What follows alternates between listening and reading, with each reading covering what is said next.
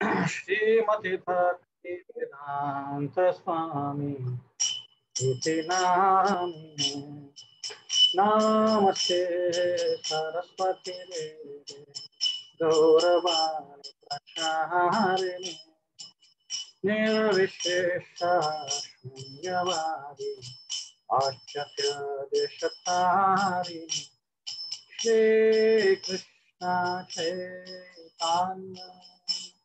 Prabhu Nityananda Shri Advaita Gadadhar sri Vasadi Gaur Bhaktavinda Jaya Shri Krishna Chaitanya Prabhu Nityananda Shri Advaita Gadadhar sri Vasadi Kishore Bhaktabin.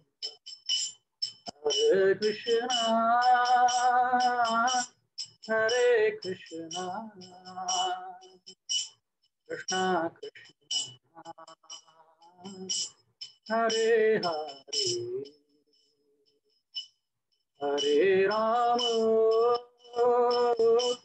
Hare Rama, Rama Rama. Hare Hare Hare Krishna Hare Krishna Krishna Krishna Hare Hare Hare Ram हरे राम राम राम हरे हरे हरे कृष्णा हरे कृष्णा कृष्णा कृष्णा हरे हरे हरे राम हरे Ram Ram Ram Hare Hare. Krishna. Hare Krishna. Krishna Krishna. Hare Hare. Hare Rama. Hare Rama. Rama Rama. Hare Hare Hare Krishna, हरे कृष्ण कृष्ण कृष्ण, हरे हरे। हरे राम हरे राम राम राम, हरे हरे।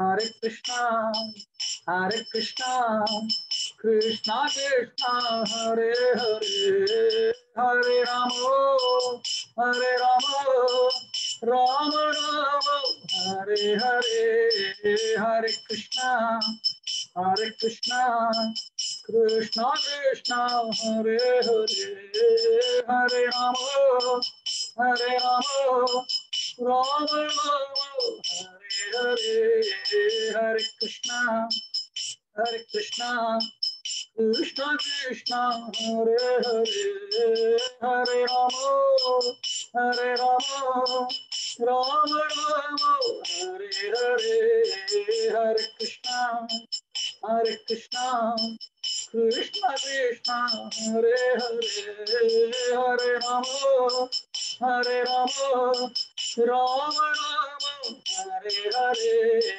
हरे Krishna. Krishna, Krishna Krishna, Hare Hare, Hare Rama, Hare Rama, Rama Rama, Hare Hare, Hare Krishna, Hare Krishna. Krishna Krishna Hare Hare Hare Rama Hare Rama Rama Rama Hare Hare Hare Krishna Hare Krishna Krishna Krishna Hare Hare Ram Hare Ram Ram Hare Hare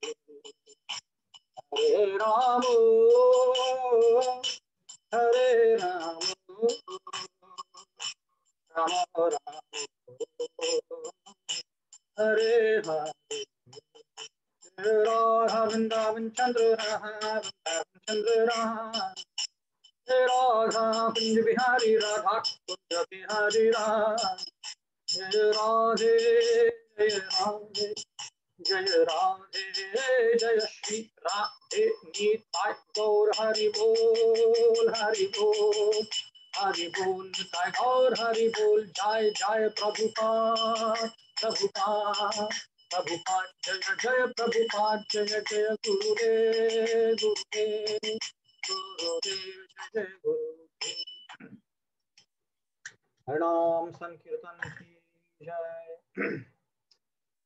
ओम ज्ञानतिमिरन्धस्य ज्ञानाञ्जनशलाखय चक्षुरुन्मिलितं येन तस्मै श्रीगुरवे नमः। श्रीचैतन्यमनोभृष्टं स्थापितं येन भूतले स्वयं रूप कदा मह्यं ददाति स्वपदान्तिकं वन्देऽहं श्रीगुरु श्रीयुतापदकमलं श्रीगुरुं वैष्णवांश्च श्रीरूपं सार्जातां सहगण रघुनाथान्वितं तं श्रीकम् साधवैतं, सावधूतं, परिजनसहितं, कृष्णचैतन्यदेवं, श्रीराधाकृष्णपादान्, सहगणललिता श्रीविशाखामितांश नमो विष्णुपादाय कृष्णप्रेष्ठाय भूतले श्रीमते भक्तिवेदान्त स्वामिनीति नामिने नमस्ते सारस्वते देवे गौरवाणी प्रचारिणे। निर्विशेष शून्यवादी पाश्चात्यदेशतारिणे। वाञ्छाकल्पतरुभ्यश्च कृपा सिन्धुभेव च। भजतानां पावनेभ्यो, वैष्णवेभ्यो नमो नमः। हे कृष्ण करुणा, सिन्धु दीनबन्धु, जगत्पते। गोपेश गोपिकान्त राधाकान्त नमोऽस्तुते तप्त कञ्चन गौराङ्गी। श्रीराधे वृन्दावनेश्वरी वृषभानुसुते देवी प्रणमामि हरिप्रिय। जय श्री कृष्ण चैतन्य प्रभु नित्यानंद, श्री अद्वैत गदाधर शिवासादि गौर भक्तवृंदा। हरे कृष्ण हरे कृष्ण कृष्ण कृष्ण, हरे हरे। हरे राम हरे राम राम राम, हरे हरे। मुखं करोति वाचालं अङ्गुं लङ्घयते गिरिं यत्कृपातमहं वंदे। श्रीगुरुदीनतारिणम्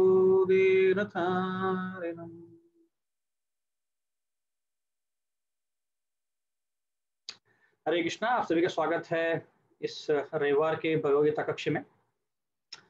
तो आज हम चौथे अध्याय के अंतिम सेक्शन को चर्चा करने वाले हैं और उसके पहले एक ग्रुप का डिस्कशन है। तो आज पद्मजा माता जी सोनाली माता जी और जयश्री माता जी मिलकर प्रेजेंटेशन करने वाले हैं। चौथे अध्याय के बारहवें श्लोक से जो कि उसका शीर्षक है कि देवी देवताओं की और कृष्ण की जो आराधना है उनमें क्या क्या फ़र्क है? तो पद्मजा माता जी जय श्री माता सोनाली माता जी आप अपना वीडियो ऑन कर लीजिए और आपके पास अगर कुछ प्रेजेंटेशन है तो शेयर कर सकते हैं या तो आप हा प्रभू मधुराच्या नावाने ओके तो तुम्हारा प्रेजेंट कर लगे माता शेयर कर लगे स्क्रीन हाँ हाँ.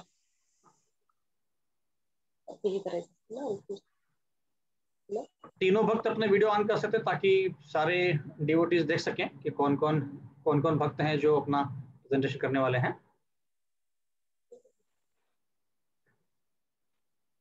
ओके जय श्री माता जी का वीडियो ऑन है।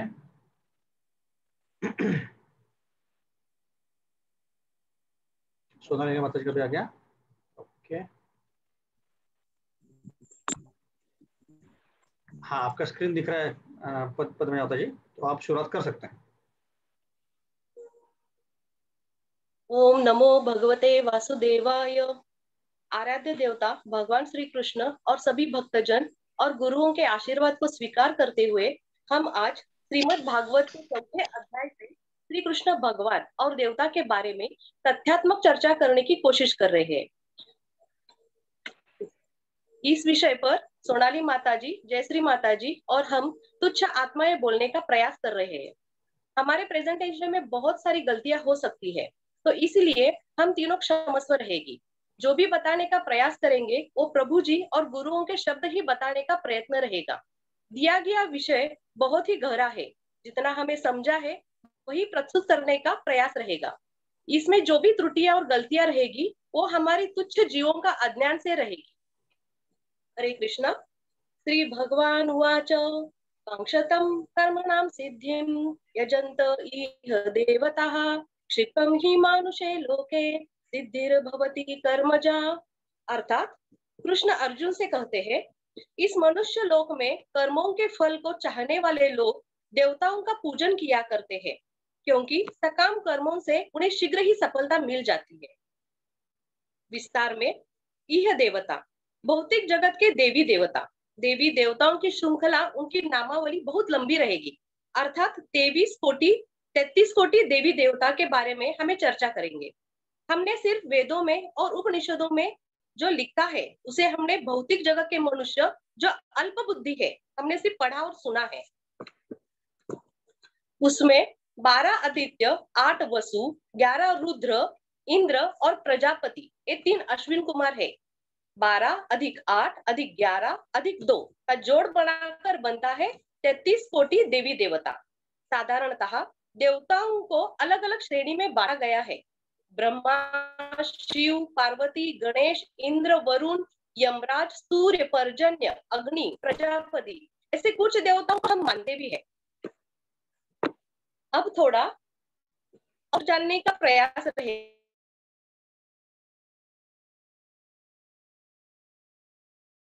दृष्टिकोण से देखे तो देवताओं की बहुत लंबे समय तक सत्ता नहीं होती।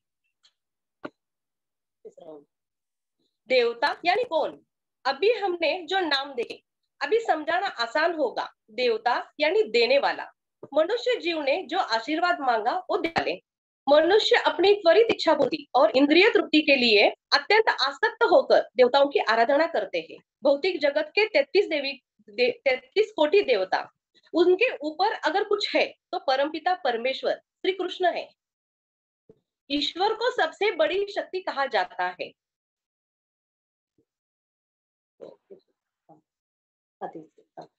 विष्णु पुराण में कृष्ण भगवान की परिभाषा ऐसी की है। ज्ञान, शक्ति, बल, ऐश्वर्य, शौर्य, तेज, इन छह गुणों से संपन्न है, वे भगवान है। जीव और देवता दोनों भी भगवान के इच्छा के अधीन है। भगवान के इच्छा के बिना पत्ता भी नहीं हिलता। भगवंत के इच्छा के बिना देवता किसी को वरदान भी नहीं दे सकते। भगवान श्री कृष्ण ही संपूर्ण सृष्टि के उगम स्थान है। ईश्वर ओ है, जो देवी देवताओं को बनाने की क्षमता रखता है, जो संपूर्ण ब्रह्मांड का आधार बिंदु है। इनकी इच्छा से ही संपूर्ण ब्रह्मांड चलता है। उपनिषद में अंकित किया है नारायणाद ब्रह्मा जायते नारायणाद प्रजापति प्रजायते, नारायणाद इंद्रो जायते, नारायणाद अष्टो वसवो जायन्ते, नारायणाद एकादश रुद्रा जायन्ते, नारायणाद द्वादशा आदित्य। नारायण से ही ब्रह्मदेव का जन्म हुआ, नारायण से ही प्रजापति की उत्पत्ति हुई, नारायण से ही इंद्र, आठ वसु, अकरा रुद्र और बारह आदित्य का जन्म हुआ। नारायण ही श्री कृष्ण के विस्तारित रूप है। ब्रह्म संहिते के अनुसार ईश्वर परम कृष्ण सच्चिदानंद विग्रह, अनादिरादि गोविंद सर्व कारण। कारणम वास्तविक, भगवंत एक ही है, देवता आणि उनके अंश है। ईश्वर परम कृष्ण मीन्स श्री कृष्ण परमेश्वर है। और देवताओं को भौतिक जगत के व्यवस्थापन के लिए शक्ति प्रदान दी, की गई है। जय श्री माता जी हरे कृष्णा, जय श्री माता जी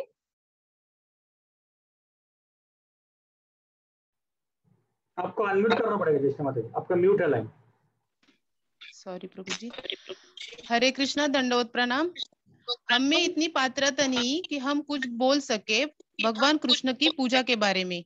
यह आप सबकी इच्छा है, जैसे आनंद प्रभु, रेणु माता जी वासुदेव चित प्रभु जी इत्यादि। अब हम भगवान कृष्ण और उन्हीं के अंश, देवताओं की पूजा के बारे में चर्चा करते हैं। पहले तो हम यह जान ले, देवता कौन है और भगवान को, भगवान कृष्ण कौन है? मनुष्य समाज देवताओं को परमेश्वर भगवान कृष्ण के विभिन्न रूप मान बैठे हैं, परंतु देवता भगवान कृष्ण के विभिन्न रूप नहीं होते, किंतु वे भगवान के अंश होते हैं। भगवान तो एक ही है, अंश अनेक है। वेदों में कथन है नित्यो नित्यानाम ईश्वर एक है, ईश्वर परम कृष्ण। कृष्ण ही एकमात्र परमेश्वर है और सभी देवताओं को इस भौतिक जगत का प्रबंध करने के लिए शक्तियाँ दी गई हैं। जैसे एजुकेशन डिपार्टमेंट सरस्वती देवी जी को, फाइनेंस डिपार्टमेंट देवी लक्ष्मी जी को, क्लाइमेट डिपार्टमेंट जैसे बारिश, बिजली, मौसम, स्वर्ग के राजा इंद्र के पास है। वैसे ही भारत में भारत में ही ले लो प्रधानमंत्री एक होते हैं उनके अंडर काम करने वाले कई मंत्री होते हैं जैसे अर्थ मंत्री गृह मंत्री शिक्षा मंत्री पालक मंत्री आदि। सभी मंत्रियों को अपना अपना काम सौंपा होता है वैसे ही देवताओं में होता है। वैसे तो देवता और ईश्वर की तुलना नहीं की जा सकती। भगवान कृष्ण अखिल ब्रह्मांड नायक है और देवता जीव तत्व है। भगवान कृष्ण भौतिक संसार के नहीं है भौतिक सृष्टि भौतिक सृष्टि से परे, अर्थात दिव्य है। देवी देवताओं को इस भौतिक जगत का प्रबंध करने के लिए सीमित शक्तियाँ प्राप्त है। भगवान कृष्ण इस भौतिक सृष्टि का पालन करते हैं तथा देवी देवता अपने भगवान ने प्रदान किए गए कार्य पूर्ण करते हैं। भगवान कृष्ण की पूजा करने करके उनसे जब कुछ मांगा जाता है तो भगवान यह अवश्य देखते हैं, मेरे भक्त के लिए यह कितना हितकारी है। जैसे कि नारद मुनि ने भगवान से हरिमुख यानी सुंदर चेहरा मांगा था। नारद मुनि को शादी करनी थी, परंतु भगवान उन्हें बंदर का चेहरा देते हैं, क्योंकि हरि का एक अर्थ बंदर ऐसा भी होता है। जब नारद जी को, नारद जी को पता लगा तो उन्होंने क्रोधित होकर भगवान से पूछा तब भगवान बोले, यह तुम्हारे हित में नहीं था। आपका ब्रह्मचारी व्रत नष्ट हो जाता। भगवान अपने भक्तों को भक्ति और प्रेम प्रदान करते हैं। वैसे तो उनके सच्चे भक्त भगवान से भक्ति और प्रेम ही मांगते हैं। वास्तव में ब्रह्मा जी तथा शिव जी जैसे देवताओं द्वारा भगवान की पूजा की जाती है। देवताओं की पूजा करने से वह हमें तत्काल फल देते हैं। वह ये नहीं देखते जो मैं प्रदान कर रहा हूँ या रही हूँ, ये मेरे भक्त के हित में है या नहीं?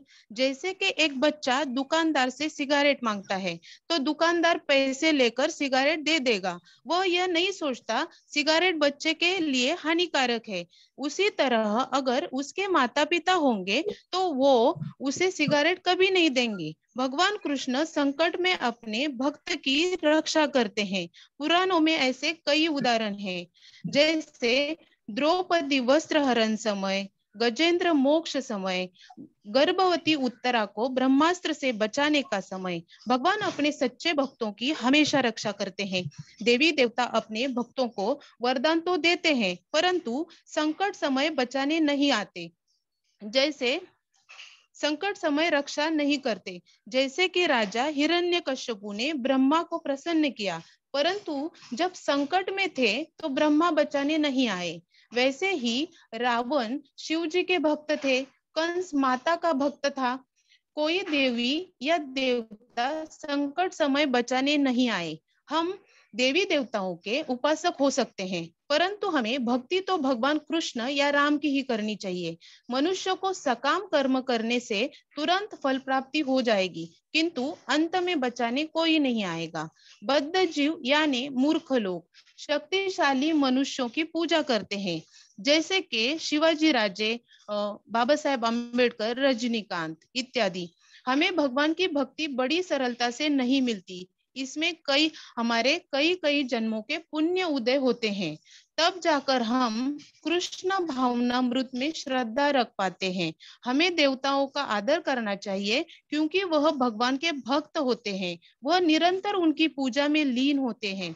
यदि हम निष्काम भाव से देवताओं की पूजा करते हैं तो वे तो वे हमें कृष्ण भक्ति प्रदान करते हैं। अतः हमें देवताओं से प्रार्थना करनी चाहिए। हमें कृष्ण या राम भक्ति दे। जैसे कि माता सीता ने देवी पार्वती से भगवान राम को मांगा था। जब भगवान राम धनुष्य उठाने जा रहे थे तो माता सीता ने गणेश जी, शिव जी और देवी पार्वती जी से भगवान राम को मांगा था। अंत में इतना ही कहना चाहूँगी कि हमें ऐसा रहना चाहिए, जैसे एक शादीशुदा औरत होती है, वह प्रेम तो अपने पति से करती है, लेकिन आदर सभी ससुराल वालों को देती है। वैसे ही हमें भगवान से प्रेम करना चाहिए और सभी देवताओं का आदर करना चाहिए। देवता भगवान को प्रिय होते हैं। प्रभुपाद की जय। मैंने जो भी लिखा है, इसमें बहुत सारी गलतियाँ हो सकती है। इसके लिए आप मुझे क्षमा करें। हरे कृष्णा सोनाली माता जी हरे कृष्णा प्रभु जी एक विनंती है yes, आ, कि एक्चुअली स्लाइड में मतलब मैंने थोड़ी अलग स्लाइड बनाई है तो फिर आप भाविनी नाम से एक लॉगिन है उसको एडमिन बना सकते हैं क्या? हाँ वो उसके शेयर शेयर कर सकती है माता जी शेयर कर सकती है ठीक है प्रभु शेयर करो ना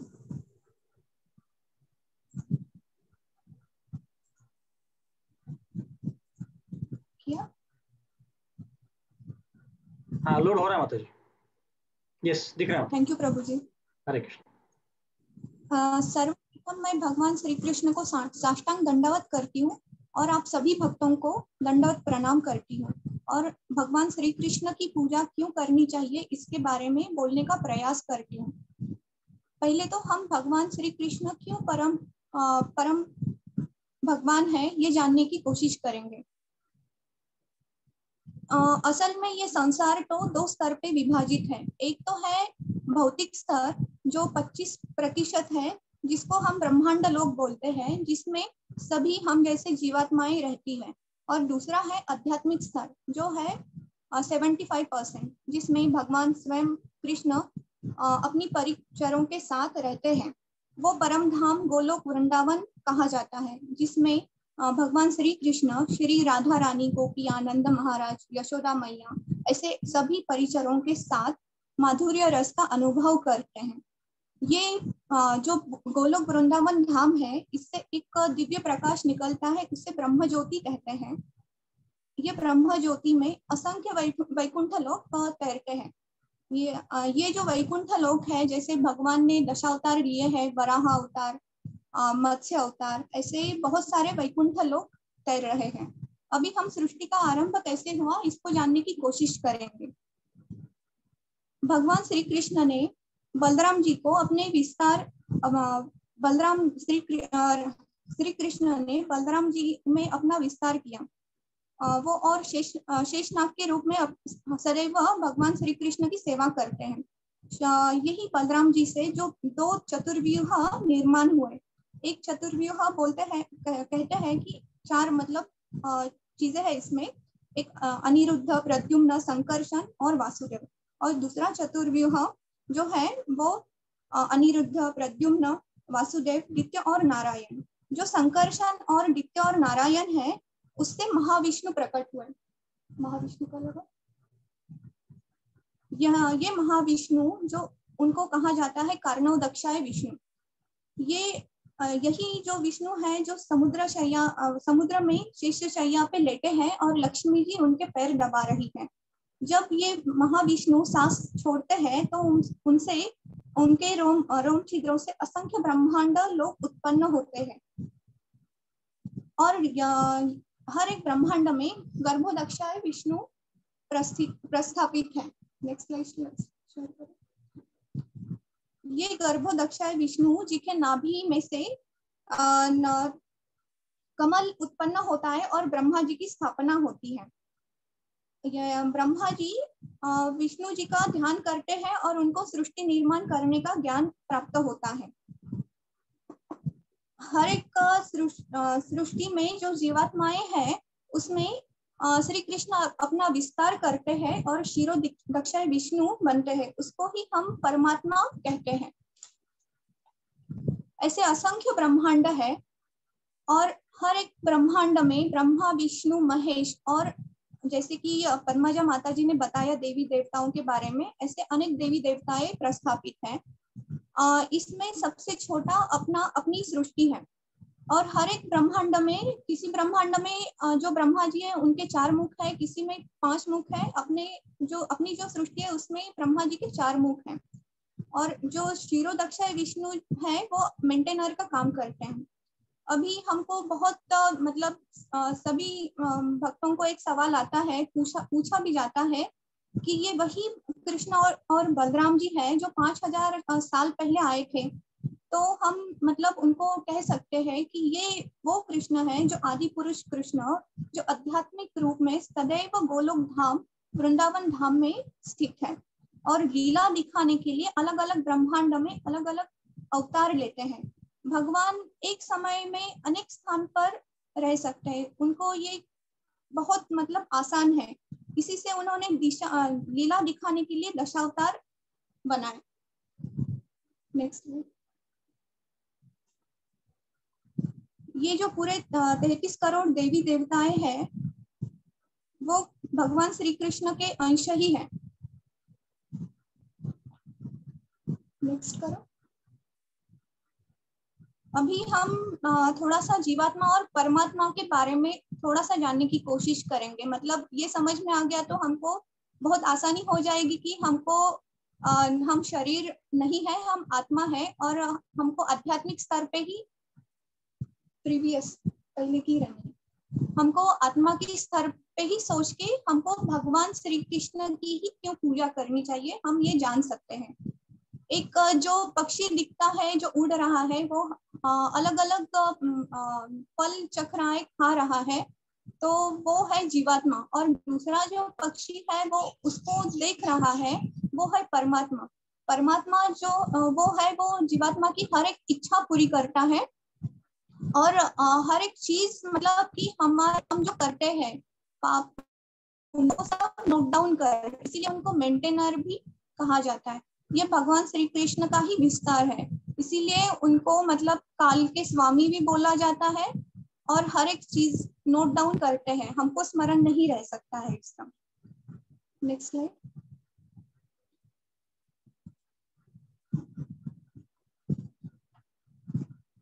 अब हम ये सृष्टि के बारे में थोड़ा सा जानने की कोशिश करेंगे। ये सृष्टि को भागवतम में अशाश्वत दुखालय कहा गया है? क्योंकि यहाँ पे कोई भी शाश्वत नहीं है और दुख से भरी हुई है। यहाँ, हम यहाँ इस अशाश्वत दुखालय में अपनी इंद्रिय तृप्ति की इच्छा और श्री कृष्ण के प्रति द्वेष के कारण आए हैं। जिसका जिसका सही में उद्देश्य है कि हमको हम हमको जो हम हमारी जो गलत इच्छा है, है इच्छाएँ थी उसको सुधार कर सच्चे हृदय से भगवान को शरणागति होके वापस गोलोक धाम में जाना है। इस सृष्टि को हम जेल हॉस्पिटल या रिफॉर्मेशन सेंटर मतलब सुधारना केंद्र भी बोल सकते हैं जिसमें हम भौतिक इच्छाओं से पीड़ित रोगी ठीक होने के लिए आए हैं। यहाँ पे भगवान की लीला भी बहुत ही अपरंपार है। उन्होंने ये जेल हॉस्पिटल या रिफॉर्मेशन सेंटर जो मतलब पृथ्वी को बनाया है, इतनी सुंदर बनाई है कि इसमें मनुष्य की, इंद्रिय तृप्ति की हर एक चीज़ बना के रखी है। मतलब हर एक प्रावधान बना के रखा है कि जिससे हम मनुष्य लोग प्रलोभित हो सके। भगवान बस हमारा इंतज़ार करते हैं कि हम जो है, हम उनका ही जो अंश है, हम बस उनको कब स्मरण करेंगे और कब शरणागत हो जाएँगे। ऐसे ही सभी देवी देवताओं में ही यही मतलब स्थिति है कि जो जीवात्मा हर देवी देवताओं में भी जीवात्मा है और परमात्मा है। जो इंद्र देव है, जो सभी भगवान है मतलब इंद्र देव या ब्रह्म देव वो देव नहीं है। हालाँकि वो एक मतलब जैसे राज सिंहासन जो पद रहता है ना, प्रधानमंत्री का पद है, वैसे वो पद है। तो जो जीवात्मा है, उनका मतलब कर्म कर्म उस, उस, उस वो राज सिंहासन के कैपेबल हो जाएगा क्वालिफाई हो जाएगा तो वहाँ का पद वो है व्यक्ति बदल जाता है। तो ऐसे हर एक का काल निर्धारित है। ऐसे भगवान श्री कृष्ण को काल निर्धारित नहीं है। हम इसका एक छोटा सा एग्ज़ाम्पल भी देख सकते हैं। माँ जब खाना बनाते वक्त मतलब अगर बेटी आके बोलती है कि, मम्मी, मुझे भी रोटी बनानी है, तब मम्मी मतलब कि व्यक्त उसको मतलब बीच में डिस्टर्ब ना हो। इसीलिए एक बच्ची को किचन सेट देती है और रोटी का, रोटी बनाने के लिए थोड़ा सा आटा भी दे देती है। तो वो बेटी छोटी बच्ची वो किचन सेट में किचन किचन खेलते खेलते बहुत टाइम मतलब मग्न हो जाती है। उसमें मम्मी को भूल जाती है। लेकिन जब भूख लगती है तो वो अतः अंतः उसको मतलब मम्मी के पास जाना ही पड़ता है। वैसे ही अपनी हालत है बद्ध जीव की। जब हम ये संसार में आए हैं तो जो हम शरीर में जैसे आत्मा शरीर में आती है तो हम बद्ध हो जाते हैं और हम भगवान को भूल जाते हैं और अपनी स्वयं के इंद्रिय तृप्ति में का विचार करते रहते हैं। ये सृष्टि के अलग अलग कार्य करने के लिए भगवान ने तैतीस कोटि देवी देवताओं का निर्माण किया है। वैसे तो पद्मजा माता जी ने बहुत ही विस्तार में बताया है। हम लेकिन मूर्ख मनुष्य अपनी भौतिक कामनाओं के लिए देवी देवताओं को पूछते हैं और उसका त्वरित फल भी मिल जाता है। आ, क्योंकि देवताओं के पास सीमित शक्तियाँ हैं लेकिन भगवान जी के पास सीमित शक्ति ऐसा नहीं है। उनको उनके पास मतलब सिक्स ओपिलेंसेस है पूरे मतलब सिक्स गुणों छह गुणों से वो भरपूर है। लेकिन हम भगवान की जब पूजा करते हैं, तब उनको मतलब स्मरण करते हैं तो बोला जाता है चेतो दर्म दर्पण मार्जनम। इसका मतलब मतलब ये है, जैसे अपने हृदय में छह अनर्थ का वास रहता है। पहले तो जब हम भक्ति में आते हैं तो ये जो अपना कलुषित मन है, उसको भगवान क्लीन करते हैं, साफ़ करते हैं। और अपनी जो भौतिक इच्छा होती है, वो आध्यात्मिक इच्छा में परिवर्तित हो जाती है। इसका हम छोटा सा उदाहरण ध्रुव महाराज का देख सकते हैं जिनको अपने पिता की गोदी में बैठना था और आ, और आ, एक अलग राज्य चाहिए था इसीलिए उन्होंने विष्णु जी की आराधना की। लेकिन जब विष्णु जी प्रकट हुए तो ध्रुव महाराज को मतलब लगा कि अरे मैं तो कांच का टुकड़ा मांग रहा था तो जब भगवान स्वयं ही इतने बड़े हीरे हैं तो भगवान जी प्रसन्न होके उनको मतलब कि एक पूरा ध्रुवलोक दे दिया। तो ऐसे ही ये सब कुछ अपनी मन और सोचने का नज़रिया है। जब हम आत्मा के बारे में सोचते हैं, हम आत्मा है तो अपनी सोच बदल जाती है और जब हम सोचेंगे कि हम शरीर है और जो भी मतलब इंद्रिय तृप्ति, जो भी हम मतलब कामना पूर्ति के लिए भगवान की पूजा कर रहे हैं, वो इसी जन्म तक सीमित रहेगा। वो अगले जन्म तक नहीं रहेगा। क्योंकि शरीर नश्वर है, आत्मा तो नश्वर नहीं है। इसका एक उदाहरण मतलब एक देख सकते हैं कि जैसे मोबाइल है, मोबाइल पे हम वीडियोस देखते हैं, गेम देखते हैं मूवीज़ देखते हैं और उसका गलत इस्तेमाल होता है। वही मोबाइल अगर हम अभ्यास के लिए या फिर अभी जैसे हम सेशन अटेंड कर रहे हैं, इसके लिए उपयोग होता है तो उसका सही उपयोग होता है। तो हम मतलब देवी देवताओं की पूजा इसी तरह से, इसी विचार को स्मरित स्मरण करके देवी देवताओं को पूज सकते हैं। अभी प्रभु जी और थोड़ा टाइम है तो थोड़ा सा आगे का बोल सकती हूँ क्या? Yes, अगर ज़्यादा मतलब लगा तो प्लीज़ मुझे मतलब बीच में ही रोक दीजिए मैंने मेरा थोड़ा प्रेजेंटेशन लंबा हो गया। No, no, थैंक यू प्रभु जी। अब हम श्री कृष्ण हमारे परम पिता क्यों है इसका थोड़ा सा प्रमाण देखते हैं। कठोपनिषद में कहा है? ईश्वर परम कृष्ण सच्चिदानंद विग्रह अनादिरादिर गोविंद सर्व कारण कारणम सभी कारण के कारण जो है, भगवान स्वयं श्री कृष्ण है। फिर वेदों में कथन भी है, नित्यो नित्यानाम। नित्यानाम मतलब जीवात्मा, और नित्य मतलब सदैव। इसका अर्थ है कि जो मतलब हमेशा है, वो ईश्वर एक ही है। पराशर मुनि ने बोला है, भगवान में छह गुण हैं जो प्रचुर मात्रा में है। वो है यश, सौंदर्य, संपत्ति, बल, ज्ञान और वैराग्य। इसका मतलब बहुत सारे एग्ज़ाम्पल है। वो तो मैं अभी नहीं बताऊँगी। काफ़ी टाइम जाएगा उसमें। वैसे ही नेक्स्ट ब्रह्म संहिता में कहा है अंगानी सकलेन्द्रिय वृत्तिमंती मतलब पूर्ण पुरुषोत्तम। भगवान श्री कृष्ण अपनी एक इंद्रिय से सभी इंद्रियों का काम करते हैं और उनके हर एक शरीर के अंग, अन्य शरीर के अंगों की कार्य क्षमता रहती है। इसका हम उदाहरण देख सकते हैं कि हम जो भगवान को भोग चढ़ाते हैं, वो वो आँखों से ग्रहण करते हैं। वो अपनी बस एक दृष्टि क्षेप से पृथ्वी या सृष्टि को गर्भित कर सकते हैं। अंडांतरस्थ परमाणु, चयांतरस्थम, सारे ब्रह्मांड कृष्ण से ही उत्पन्न है। नेक्स्ट स्लाइड भगवत गीता में स्वयं भगवान कह रहे हैं कि फिफ्टीन चैप्टर में, मैं हर एक हृदय में स्थित हूँ और मेरी वजह से स्मृति, ज्ञान और विस्मृति है। टेंथ चैप्टर में भगवान ने कहा है कि, मैं ही प्राकृत भौतिक आध्यात्मिक जगत का उत्पत्ति करता हूँ। सब कुछ मेरे से ही निर्माण हुआ है। जो ये बुद्धिमान व्यक्ति जानता है, वो मेरी ही पूजा करेगा। टेंथ चैप्टर में ये भी कहा है जीवात्मा की चेतना मैं ही हूँ, परमा, जो कि मतलब परमात्मा है। मैं ही सर्व जीवात्माओं का आदि, मध्य और अंत हूँ। मैं ही सब सृष्टि का बीज हूँ। मेरे बिना किसी का भी अस्तित्व नहीं है।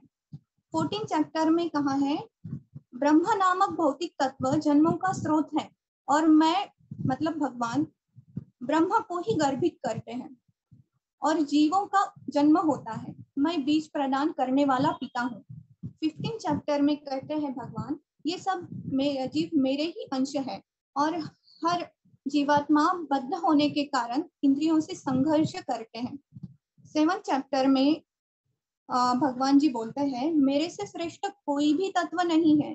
धागे में डाले हुए मोतियों की तरह सब कुछ मेरे ऊपर ही निर्धारित है मेरे ऊपर ही आश्रित है।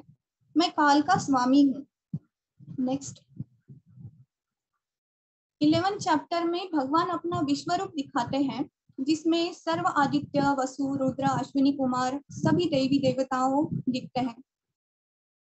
नेक्स्ट अभी हम भागवतम में मतलब थोड़ा सा आ, उसका प्रमाण देखेंगे। कुंती महारानी स्वयं कहती है हे कृष्ण मैं आपको नमस्कार करती हूँ क्योंकि आप ही आदि पुरुष है और भौतिक जगत के गुणों से निसंग है। आप समस्त वस्तुओं के भीतर तथा बाहर स्थित रहते हुए भी सबों में सबों से अलक्ष्य है। नेक्स्ट वैसे ही शिव जी के बारे में हम जब देखते हैं तो शिव जी एक बड़े, सबसे परम वैष्णव है। उनको बोला जाता है, वैष्णवम नाम यथा शंभो। इसका मतलब कि सबसे वैष्णव जो है, सबसे परम भक्त जो है वो शिव जी है।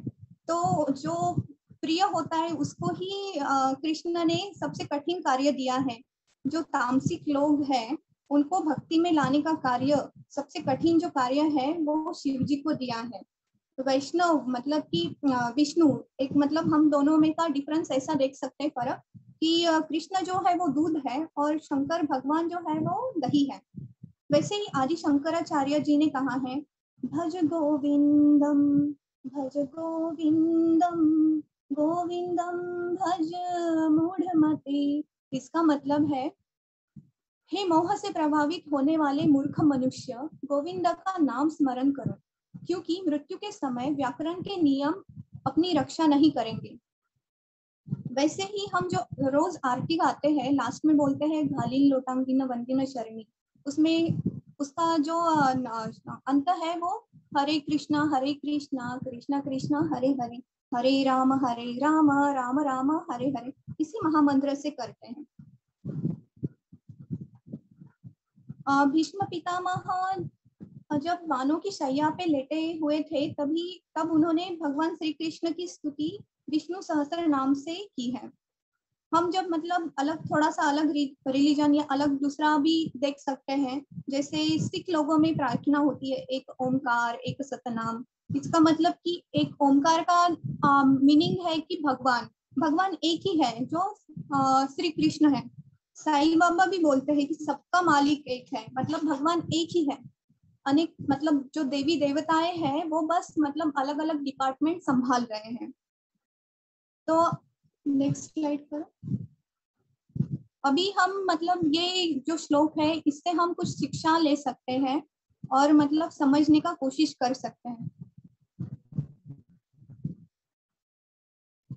कि अभी हमने सब भगवान के बारे में जाना और देवी देवताओं के बारे में जाना और कर्म मतलब जो सकाम कर्म मतलब जो रहता है, वो मतलब इच्छा पूर्ति के इच्छा पूर्ति के लिए किया जाता है तो वो सकाम कर्म ना करके हमको निष्काम या फिर स्पेशली अकर्म करना है कि जिसमें श्री कृष्ण भगवान स्वयं सेंटर में रहे केंद्र में रहे।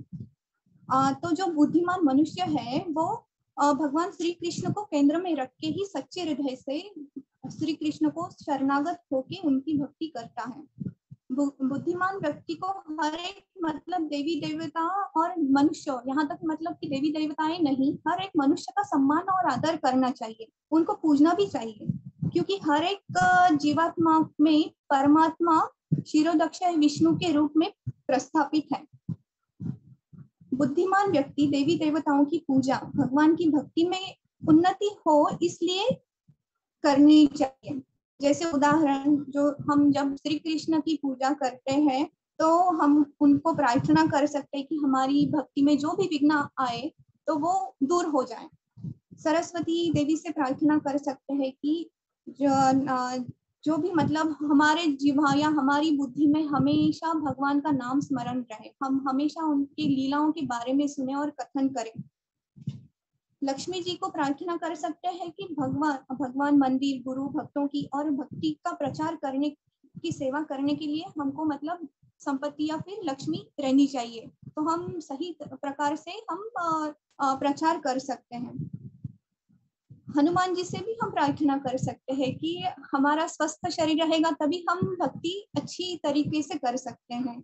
वैसे ही शिव जी को प्रार्थना कर सकते हैं कि हमारे अंदर जो तामसिक इच्छाएँ हैं, वो नष्ट होके हम अपनी भक्ति में उन्नति कर सके। और ये हम मतलब कि ये भौतिक जगत में रहते हुए भी हमको वैराग्य प्राप्त हो, ये ऐसी हम शिव जी से प्रार्थना कर सकते हैं। हम बहुत तुच्छ जीव है, हमने थोड़ा सा भगवान की पूजा क्यों करनी चाहिए इसके बारे में बोलने की कोशिश की। अगर ये सही लगता है तो फिर ये इसका पूरा श्रेय जो है वो प्रभु जी को और गुरुओं को जाता है। अगर इसमें जो जो भी त्रुटियाँ है, ये मेरे तुच्छ जीव के कारण हुई है, मैंने बस बोलने का मतलब जो गुरुओं ने बोला है, उसको ही थोड़ा बोलने का प्रयास किया है। थैंक यू प्रभु जी। हरि बोल। हरे कृष्णा, बहुत अच्छे। तो एक, दो मिनट रुकी तीनों। किसी को कोई प्रश्न है माताओं के लिए इस विषय पे? इस विषय में किसी को प्रश्न है? और भाविनी आप अपना शेयरिंग बंद कर सकते हैं।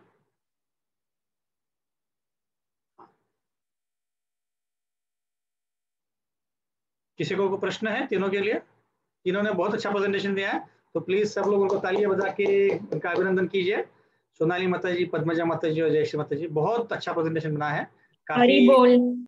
हरी बोल। काफ़ी डिटेल में देख किया आप लोगों ने और कोऑर्डिनेशन भी बहुत अच्छा था आप लोगों का। तो मुझे यकीन नहीं हो रहा था इतना अच्छा प्रेजेंटेशन किया इतना डेप्थ में जाके। और ये विषय बहुत गहरा है और इसमें कुछ कन्फ्यूज़न भी हो सकता है। और सोनाली माता जी भी काफ़ी डिटेल में गई थी कि कृष्ण को कैसे सुप्रीम प्रूव करना है। और जयश्री माता जी और पद्मजा माता जी ने बहुत अच्छे से देवी देवता कौन होते हैं इसके बारे में बताया। तो हम सभी उनका हरी बोल बोल के अभिनंदन करते हैं। बहुत बहुत अच्छा है। हरी काफ़ी बोल हरी है मधुरा और हरी बोल। मधुरा और भाविनी ने भी काफ़ी मेहनत लिया ऐसा दिख रहा है मुझे। तो थैंक यू सो मच आप तीनों का इतना अच्छा प्रेजेंटेशन करने के लिए। तो हर ग्रुप अभी अलग अलग ग्रुप अपने अपने बेंचमार्क बढ़ा रहे हैं क्वालिटी बढ़ा रहे हैं। तो मुझे बहुत खुशी हो रही है कि आप लोग इतने अच्छे से कर पा रहे हो। थैंक यू सो मच तो अगले ग्रुप जो है अभी ये तीसरा ग्रुप था चौथा ग्रुप था ये। चौथा ग्रुप था नहीं थर्ड ग्रुप था। थर्ड ग्रुप था। तो बाकी के ग्रुप जो तीन ग्रुप है प्लीज़ रेडी रहिए। आपका नेक्स्ट टाइम आप हम करेंगे ठीक है हरे कृष्णा तो अभी हम अपना यूजुअल भागवत गीता चालू करते हैं। थैंक यू सो मच प्रभु जी एक ये जो प्रेजेंटेशन किया ये सब आपकी कृपा है। और जो पीडीएफ फ़ाइल बनाया है मेरा जो है वो मेरी बेटी भाविनी ने ही बनाया है। Yes thank you so much Bhavini. और हम शिला प्रभुपाद को धन्यवाद देते हैं क्योंकि हम उन्हीं से हम सीखे हैं जो भी है। तो हम प्रभुपाद को धन्यवाद दे सकते हैं। हरे कृष्ण। तो अभी हम चर्चा कर रहे हैं चौथे अध्याय में भगवदगीता के। पिछली बार हमने चर्चा किया था कि शिष्य के गुण क्या होने चाहिए, शिष्य कैसा होना चाहिए, उसके पहले हमने चर्चा किया था कि गुरु कैसा होना चाहिए। तो आज हम इसी विषय को आगे बढ़ाने वाले हैं और अगले सेक्शन को प्रारंभ कर रहे हैं। ये आखिरी सेक्शन है, हो सकता है कि आज हम उसको खत्म करें और अगले अगले रविवार से फिर पांचवा अध्याय चालू हो जाए। तो हम चौतीसवें श्लोक से आखिरी तक अभी श्लोक पठन करेंगे। तो मेरे पीछे पीछे आप मेरे साथ साथ बोला सकते हैं आप। तद विद्धि प्रणिपाथे न प्रणिपश्ने न सेवय प्रतीक्षांति ते ज्ञानम ज्ञानी नास्तत्वदर्शिनी पैंतीस यज्ञात्वा न पुनर्मोहम यम एवं यास्यसि पांडव येन भूतानि अशेषानि द्रक्षासि आत्मनि यथो मयि। अपि चेतसपि पापेभ्य सर्वेभ्य पापकृत्तम। सर्वं ज्ञानप्लनेनैव वृजिनां सन्तरशिषे यथा यथांसि समिध्नोऽग्निर्भस्मसात् कुरुते अर्जुन ज्ञानाग्नि सर्वकर्माणि भस्मसात् कुरुते तथा। न हि ज्ञानि सदृशं पवित्रमिह विद्यते तत्स्वयं योगस्यं सिद्ध कालेनात्मनि विन्दति। श्रद्धा वा लभते ज्ञानं तत्पर समतेन्द्रिय ज्ञानं लब्ध्वा परं शान्तिम् अचिरेण अधिगच्छति अज्ञानश्चाशद् अज्ञानश्चाशद्धानश्च सम संशयात्मविनश्यति। नायं लोकोऽस्ति न परो न सुखं संशयात्मना। योग संन्यस्त कर्माणां ज्ञान संचिन्न संशयम् आत्मावन्तं न कर्माणि निबद्धन्ति धनञ्जय। तस्मादज्ञानसम्भूतं हृत्स्थं ज्ञानास्थितात्मनः चित्वै चित्वैनं संशयं योगम अतित्वष्टत भारत। तो अभी ये जो आखिरी सेक्शन है, ये भगवान इसको समराइज कर रहे हैं। अभी अभी तक तो उन्होंने बताया कि आध्यात्मिक ज्ञान क्या होता है ट्रांससेंडेंटल नॉलेज क्या होता है, और अभी तक ये बताया है सेक्शन में ये पूरे अध्याय में कि आध्यात्मिक ज्ञान को यूज़ करके हम अपने जीवन को कैसे आगे बढ़ा सकते हैं। तो अभी तक दो तीन ग्रुप ने अलग अलग हमको बताया है प्रेजेंट किया है कि कैसे आध्यात्मिक ज्ञान हमें परंपरा से मिलती है।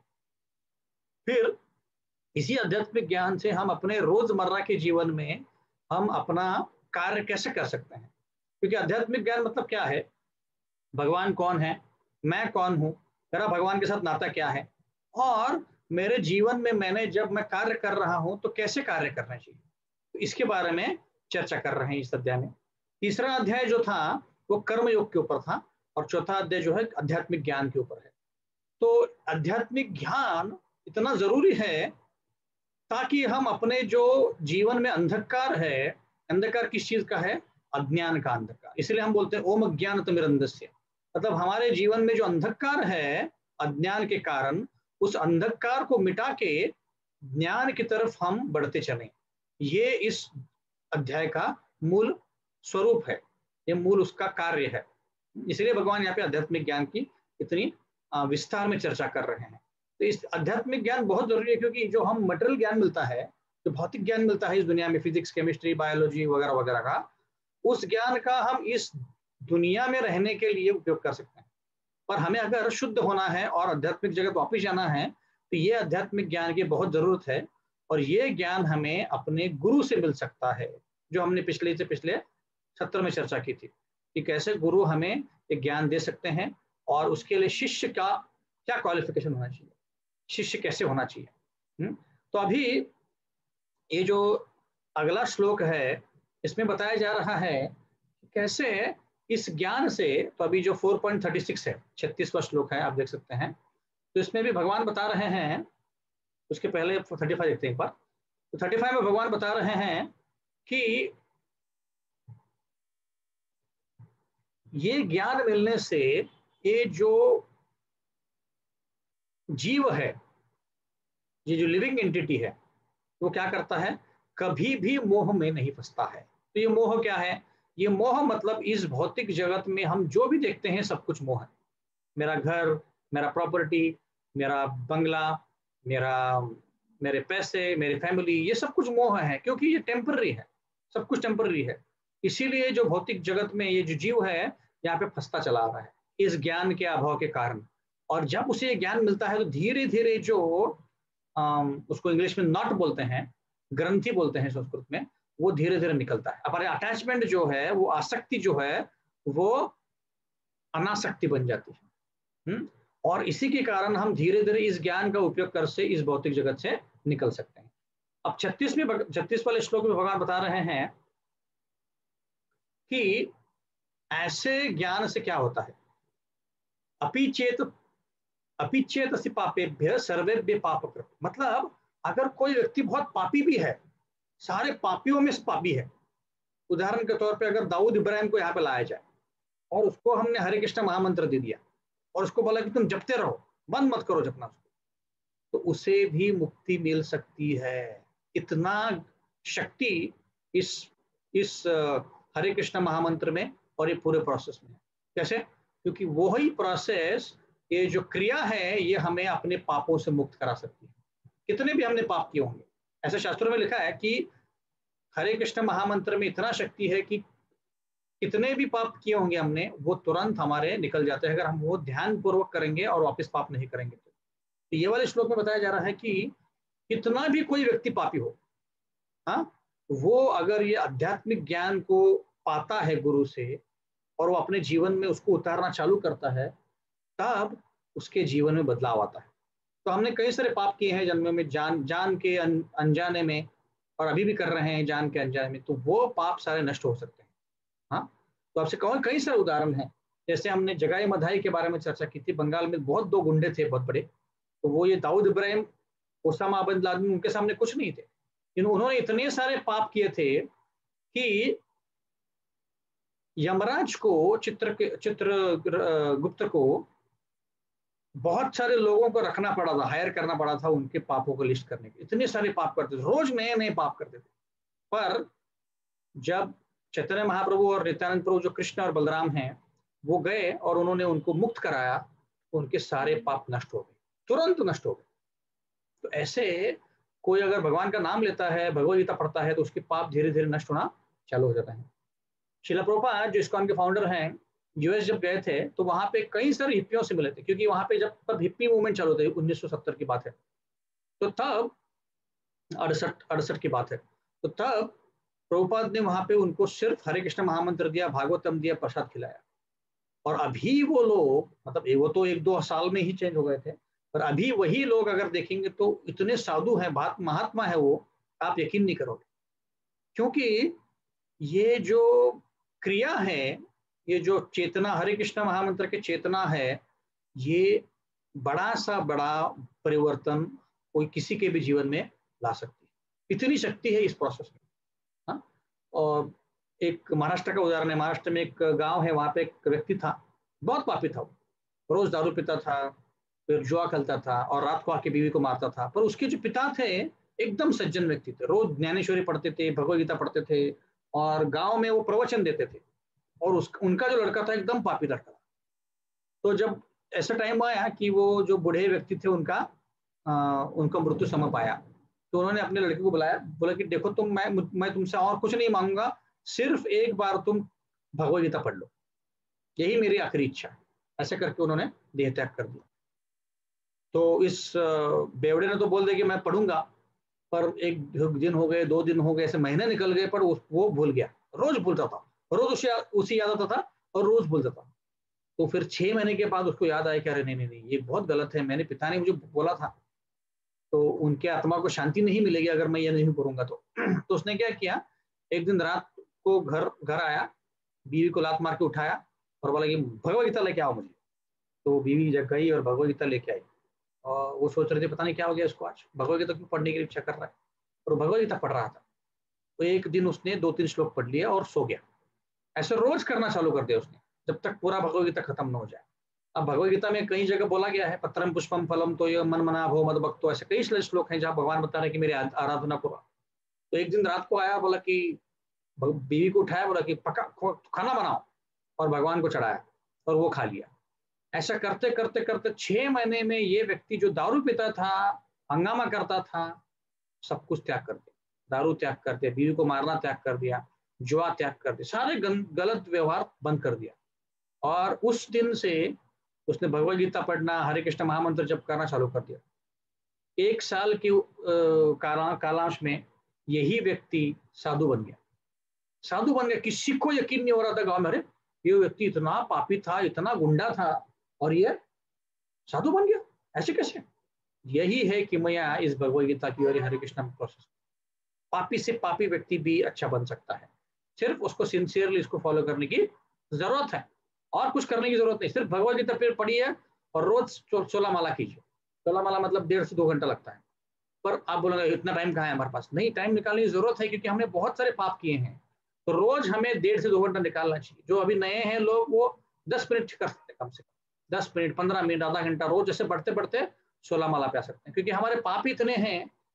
कैसे समझेगा हमको पाप है? हमारे अगर जीवन में दुख है। हमारे जीवन में अगर कोई मेडिकल प्रॉब्लम है, कोई कोर्ट केस है, शरीर शरीर में व्याधियाँ हैं, शरीर में कमियाँ हैं, ऐसे कई सारे केसों में हमारे, हमने पाप किए। इसका मतलब है कि हमने पाप किए हैं पक्का। सब सबने कुछ ना कुछ पाप किए हैं। तो उनको धोना है तो रोज महामंत्र बोलना है सोलह माला करना है, तब जाके हो सकता है। और एक उदाहरण है यूएस में एक व्यक्ति था ड्रग डीलर था वो। ड्रग्स में अगर डील करता था तो ड्रग्स में डील करते करते उसको पुलिस ने एक बार पकड़ने का ठान लिया और पुलिस उसके पीछे पड़ी थी ये आगे भाग रहा था, पुलिस उसके पीछे भाग रही थी। गलियों से भाग भाग के इधर उधर से जा रहा था अब पुलिस एकदम पास आने ही वाली थी। तब तक एक बहुत बड़ी चौड़ी स्ट्रीट आई और स्ट्रीट में बहुत सारे लोग ऐसे हरे कृष्णा वाले भोग लोग थे। हरे कृष्णा हरे कृष्णा ऐसे जब करते हुए जा रहे थे। तो इसको बहुत अच्छा मौका मिल गया। वो दूसरी स्ट्रीट से ये वाले गली में एकदम पहुँच गया और उनमें मिक्स हो गया। तो पुलिस ढूंढते रही, कहाँ गया कहाँ गया कहाँ गया, मिला ही नहीं। और उन्हीं में मिक्स होके ये वो हरे कृष्ण कीर्तन करते करते करते उनके साथ चल जा रहा था। थोड़ी देर जाने के बाद, एक आधा मैल जाने के बाद उसको समझ में आ गया कि पुलिस अभी गई है। तो वो निकलने का प्रयत्न किया उसने। उसने दाएँ जाने का प्रयत्न किया। तो जो भक्त लोग होते हैं, वो एक बार भक्ति चालू कर दे तो जाने नहीं चली। उन्हें बोले अरे, हरि हरि हरि बोल बोलो, हरि बोल बोलो। तो उधर से प्रयत्न किया उसने, दूसरे साइड से प्रयत्न किया। तो दूसरे भक्त ने बोला, अरे, क्या कर रहे हो? हरे नाम बोलो, हरे नाम बोलो। तो चारों साइड से भक्तों ने घेर रखा था तो वो निकल नहीं पाया। तो करते करते करते वो मंदिर पहुँच गया और मंदिर में सबको प्रसाद दिया तो उसने प्रसाद भी ग्रहण किया। अब पुलिस वाले जो थे, उनको, उन्होंने देखा कि सब जगह मिला नहीं, इसका मतलब है कि इसी हरिनाम वाले संकीर्तन में होना चाहिए। तो वो उसके पीछे पीछे पीछे पीछे गए और वो मंदिर तक आए। अब इस ड्रग डीलर ने देखा कि खिड़की से देखा तो ये या लोग खड़े हैं। तो उस पुलिस वाले ने आके पूछा मंदिर में कि कोई नया व्यक्ति आएगा तो नहीं, कोई नहीं आया। तो उसी समय और पुलिस निकल गई। तो उसी समय इसने ठान ली कि मुझे मंदिर में ही रहना पड़ेगा, नहीं तो मैं पकड़ा जाऊँगा। तो उसने वहाँ के प्रेसिडेंट को बोला कि देखिए, मैं आपका संकीर्तन जो था, हरिनाम जो था, बहुत मुझे बहुत पसंद आया। मैं आज से यहीं पर रहना चाहता हूँ। तो जो प्रेसिडेंट था, बहुत खुश हो गया। मतलब वाह, क्या क्या असर है हरिनाम का? तब तो वहाँ से रहने लग गया। उसको लगा, अभी आराम करेंगे यहाँ पे। पर वहाँ के भक्त क्या करते थे? सुबह साढ़े तीन बजे उठा देते थे। चलो मंगल आरती का टाइम हो गया। नहाने चलो। ऐसा करते करते वो मंगल आरती करता था भगवदगीता का क्लास अटेंड करता था, जप करता था। ऐसा करते करते करते करते छह महीने गुजर गए। अब छह महीने के बाद उसको लगा कि नहीं नहीं, मैं जो क्यों कर रहा हूँ, मुझे मुझे बताना चाहिए सही में कि क्या मैं कर रहा हूँ। तो उसने क्या किया? उसने जाके वो प्रेसिडेंट को बोला कि मेरा ऐसे ऐसे बैकग्राउंड है, मैं ड्रग डीलर हूँ और ऐसे ऐसे मैं छुप के आया था। तो प्रेसिडेंट ने बोला कि जो भी आपको वापस आ सकते हो, पर पहले जाके पुलिस में आप अपने आप को समर्पित करो। तो गया। और पुलिस पुलिस में समर्पित कर दिया उसने। तो उसमें कोर्ट का केस चला।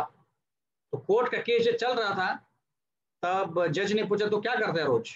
तो उसने बताया कि छह महीने से मैं रोज सुबह साढ़े तीन बजे उठता हूँ, मंगल आरती करता हूँ, फिर जप करता हूँ दो घंटा, फिर मैं आरती अटेंड करता हूँ, फिर भागवतम क्लास होता है, उसके बाद प्रसाद लेता हूँ और फिर दस बारह घंटे मैं ये भगवत गीता वितरण करने जाता हूँ। बोला, क्यों वितरण करने आता है?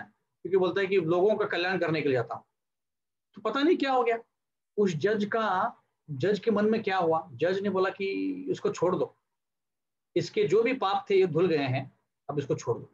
पता नहीं कैसे हो गया। जनरली ऐसे जज करेगा नहीं। पर जज ने ऐसा उसको बोल दिया और उसको छोड़ दिया। तो ये व्यक्ति भी फ्री था, पर वो और कहीं नहीं गया। वो सीधा मंदिर में आया और वहीं से उसने भक्ति चालू कर दिया अभी बहुत बड़ा भक्त है। एक टेंपल का प्रेसिडेंट है कहीं यूएस में। तो ऐसे हम समझ सकते हैं कि जो प्रोसेस है जो कार्य हैं, हम जो कर रहे हैं बहुत ही पावरफुल है, इसमें बहुत पावर है। ये कोई साधारण चीज़ नहीं, क्योंकि ये जो हरे कृष्ण महामंत्र है, ये जो भगवत गीता है, ये आध्यात्मिक है। ये कोई ये कोई भौतिक भौतिक चीज़ नहीं है। इसका पावर बहुत ज़्यादा है, जो हमारे हृदय में ट्रांसफॉर्मेशन ला सकते, बदलाव ला सकता है। जैसे उस ड्रग डीलर का हुआ, जैसे उस व्यक्ति का हुआ जो दारू पीता था। तो इसीलिए ये भगवान यहाँ पे बोल रहे हैं कि तुम्हें कितना भी पाप किया हो इस ज्ञान को तुम बटोर लो और ज्ञान के साथ साथ अपना चालू कर दो। ज्ञान, भक्ति चालू कर दो। उसके बाद भगवान बोलते हैं कि जैसे आग लिपटती है और आग जब लिपटती है जब जंगल में लगती है तो सब कुछ वहाँ का जल जाता है। वैसे ही इस ज्ञान की आग से, अध्यात्म की ज्ञान की आग से तुम्हारे जो भी पाप हैं, सारे कर्मिक रिएक्शंस हैं, वो सारे धुल जाएँगे। कुछ नहीं बचेगा। क्योंकि हम अलग अलग प्रकार के पाप करते हैं। मैं आपको एक पिक्चर दिखाता हूँ, जिससे हमें समझ में आएगा कि हम क्या क्या करते हैं। पहले हमें अविद्या होती है। अविद्या मतलब पता नहीं होता कि क्या करना है, क्या सच है, क्या अच्छा है। थोड़ा बहुत पता होता है बट पूरी तरह से पता नहीं होता। जैसे एक चोर होता है। अब चोर को तो इतना पता होता है कि कि चोरी नहीं करना है। है ना? पर भले ही उसको पता है, पर फिर भी वो करता है। मेरी आवाज़ ठीक से आ रही है? यस तो, तो उसको पता होता है कि मुझे चोरी नहीं करनी है फिर भी वो करता है। क्यों? क्योंकि उसको इच्छा होती है। उसके जो हृदय में बीजम होता है मतलब पाप करने की इच्छा सिंफुल डिजायर्स बहुत इच्छा होती है उसको कि मैं कुछ करूँ क्योंकि ये पिछले जन्मों से आया होता है। तो इस इच्छाओं से क्या करता है वो? पाप करता है। कौन से पाप करता है? अभी ये चोर है तो वो चोरी करेगा। तो एक दिन जाके कहीं चोरी करता है। अब चोरी करने से उसको बहुत सारा पैसा मिल जाता है। एक ही दिन में डेढ़, दो, तीन लाख रुपए मिलते हैं उसको। तो बहुत खुश होता है, अरे, एक ही दिन में इतना पैसा मिला। बहुत अच्छा है। अब ये चोरी का जो रिएक्शन है हाँ उसको अप्रारब्ध बोलते हैं। मतलब अभी तक उसको कोई पुलिस ने पकड़ा नहीं है। पुलिस ने अभी तक उसको पकड़ा नहीं है। मे भी आगे पकड़ेंगे, थोड़े दिनों के बाद, थोड़े सालों के बाद। तो तब तक उसको लगता है कोई बात नहीं, बहुत अच्छा है। तो अभी ये जो है अभी उसको जो दिमाग में बैठ गया कि अरे हाँ एक दो घंटे में चोरी करके दो तीन लाख रुपए मिलते हैं। ज़्यादा कष्ट करने की ज़रूरत नहीं। और ऐशो आराम से तो रह रहा है वो। तो यही जो इच्छा है, ये उसके हृदय में कूटम करके रहती है। कूटम मतलब पाप करने की इच्छा। इच्छा मतलब टेंडेंसी प्रोक्लिविटी बोलते हैं प्रोक्लिविटी टेंडेंसी हाँ? इससे क्या करता है वो? वापस इच्छा बन जाती है उसकी। सिंफुल डिज़ायर बीजम तक जाती है। और वही चीज़ वो बार बार करते रहता है बार बार करते रहता है। तो इसीलिए जब भी कोई व्यक्ति पाप करता है तो क्या करता है वो? जाके मंदिर में बोलता है या चर्च में जाके बोलता है कि, भगवान, मैंने पाप किए, मुझे माफ़ कर दो। तो क्रिश्चियन बाइबल के अनुसार कोई व्यक्ति अगर जाके कन्फेशन करता है तो उसके पाप नष्ट हो जाते हैं। पर कौन से पाप नष्ट होते हैं? उसके अप्रारब्ध पाप। ये जो मैं दिखा रहा हूँ आपको यहाँ पे, ये वाले पॉइंटर है क्या? ये वाले अन, अप्रारब्ध जो दिखा रहा हूँ मैं, ये वाले नष्ट होते हैं। हाँ पर ये कूटम मतलब पाप करने की इच्छा और एक्चुअल डिज़ायर मतलब एक टेंडेंसी और डिज़ायर में फ़र्क होता है।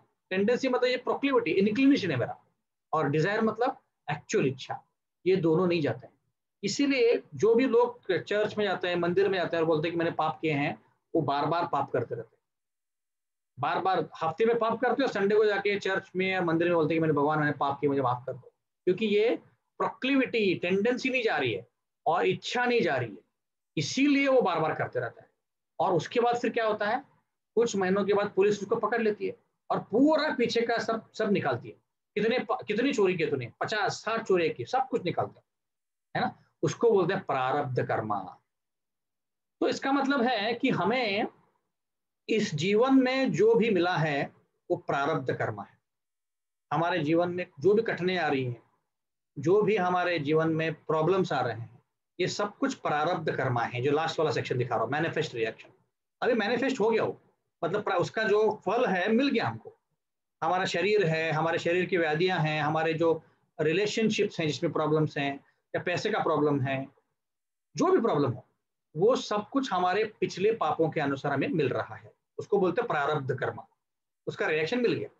पर अभी ऐसे भी कुछ पाप हैं जिनका रिएक्शन मिला नहीं अब तक। उसको बोलते हैं अप्रारब्ध जो ऊपर लिखा हुआ है। ये अप्रारब्ध मतलब अभी तक मिला नहीं उसका रिज़ल्ट जैसे इस चोर के लेट से एक ही चोरी पकड़ी गई तो उसको उसका उसकी सजा मिल गई। बट अभी बहुत चालीस पचास चोरी जो की वो नहीं मिली उसको अप्रारब्ध बोलते हैं। वैसे हमारे जो पिछले कर्मों के पाप हैं अभी तक नहीं मिले सब नहीं मिले एक एक एक, एक करके मिलने वाले हैं। तो हमारा जो शरीर है फैमिली जॉब जो भी प्रॉब्लम्स आ रहे हैं हमको वो प्रारब्ध है। अप्रारब्ध मतलब इच्छाएँ हमारी और हमारे जो पाप है, वो अभी तक गई नहीं है। हाँ? उसके साथ साथ फिर कूटम, हमारी जो इच्छा है टेंडेंसी है, वो भी नहीं गई है और बीजम, ये भी नहीं गई तो ये तीनों का जो संचय है, इसको भक्ति पूरी तरह से नष्ट कर देता है, जो और कोई नहीं कर सकता। ये तीनों चीज़ें और कोई हटा नहीं सकता है। अभी अगर ये चोर भक्ति करने लगेगा, उसका जो अप्रारब्ध है, कूटम है और बीजम है, तीनों नष्ट हो जाएँगे। और कुछ सालों के बाद या कुछ टाइम के बाद, डिपेंड करता कैसे भक्ति कर रहा है वो, उसके जो भी पाप करने की इच्छा है वो बंद हो जाएगी। पाप करने की इच्छा बंद हो जाएगी, है ना? तो उदाहरण के तौर पे अभी अप्रारब्ध मतलब क्या? कि अब हमारा जो अगला शरीर है ऑलरेडी बन रहा है। हम जैसे ही जीवन जी रहे हैं हमारा अगला शरीर बन रहा है, क्योंकि हमने जो पिछले पाप किए हैं, उसके हिसाब से अगला शरीर बन रहा है। और इस जन्म में जो पुण्य करेंगे, पाप करेंगे, इसके हिसाब से भी अगला शरीर बन रहा है है ना? तो कुछ पाप, कुछ रिएक्शन जो होते हैं, वो तुरंत मिलते हैं, उसको इंस्टेंट रिएक्शन बोलते हैं, और कुछ रिएक्शन होते हैं, वो बाद में मिलते हैं, क्योंकि उसके लिए टाइम लगता है है ना? तो इसीलिए ऐसे अप्रारब्ध कर्म भी नष्ट हो जाते हैं। उदाहरण के तौर पे, इस जीवन में हमारा कुछ एक्सीडेंट होने वाला था, उदाहरण के तौर पे। पर क्योंकि हम भक्ति कर रहे हैं, भगवान अपने हाथ में सारे कर्म ले लेते और बोलते कि क्योंकि इसने भक्ति किया है, इसका अप्रारब्ध रिएक्शन में कम करता हूँ। तो बहुत बड़ा एक्सीडेंट होने वाला है, उसके बजाय छोटा सा एक्सीडेंट हो जाता है। हमें कोई बहुत ज़्यादा लूटने वाला होता हो, दस लाख रुपए हमारे जाने वाले थे। और भगवान ने देखा कि अरे, ये भक्ति कर रहा है। ये तो हरे कृष्ण महामंत्र सोलह माला करता है रोज। तो इसका मैं रिएक्शन कम करता हूँ। तो दस लाख के बजाय हज़ार रुपए को कोई हमको ठग लेता है। ऐसे भगवान हमारे अप्रारब्ध रिएक्शन भी कम कर देते हैं। और बीजम कुटम मतलब क्या? हमारी जो इच्छाएँ हैं, पाप करने की इच्छा खत्म हो जाती है। कोई दारू पी रहा है, दारू पीने की इच्छा खत्म हो गई। चोरी कर रहा है, चोरी करने की इच्छा खत्म हो गई। ऐसे ही हमारी इच्छाएँ खत्म हो सकती है। तो ये जो प्रोसेस है भक्ति का, बहुत बहुत ही पावरफुल है।